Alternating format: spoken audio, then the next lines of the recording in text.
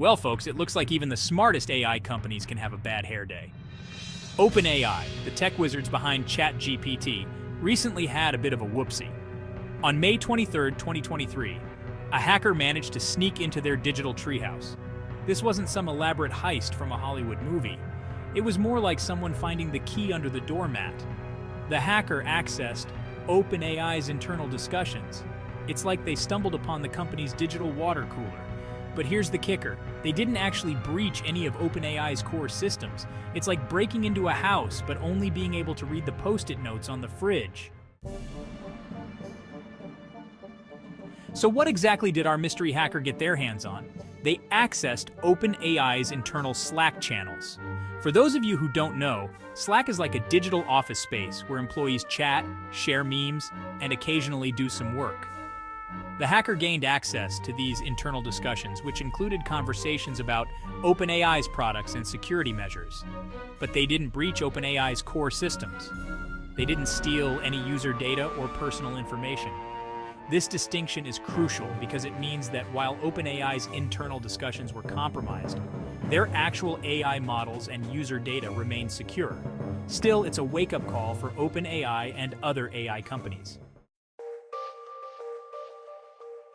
Now, you might be wondering how OpenAI responded to this digital break-in.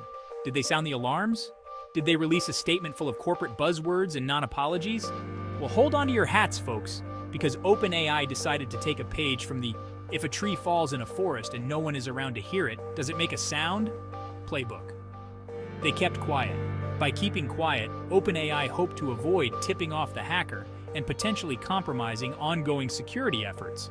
But behind the scenes, they were scrambling like a cat on a hot tin roof. They launched an internal investigation and beefed up their security measures.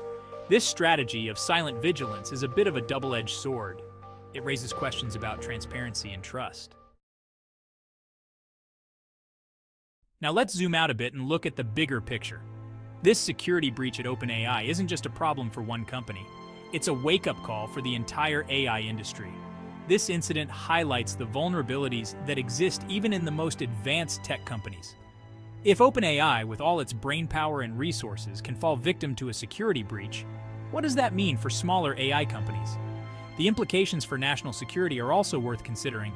AI technology is increasingly being used in sensitive areas like defense, finance, and healthcare. A breach in these systems could have consequences far beyond embarrassing internal chats. This raises questions about the role of government in regulating and protecting AI technologies. Should there be stricter oversight, or would that stifle innovation?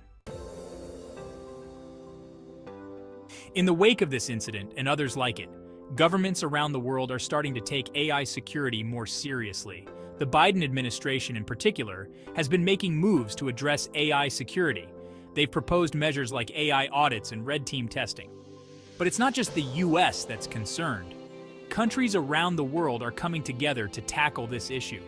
These efforts are aimed at creating a framework for responsible AI development and use. Despite the challenges, these efforts are crucial. Without them, we risk creating a digital Wild West. So here we are, standing at the crossroads of innovation and security. On one side, we have the exciting world of AI development, full of possibilities. On the other side, we have the very real need for robust security measures to protect this technology from misuse or theft. The challenge lies in finding the right balance. Push too hard on security, and you risk stifling innovation. On the other hand, if we let innovation run wild without proper safeguards, we're inviting trouble. This balancing act is further complicated by the rapid pace of AI development.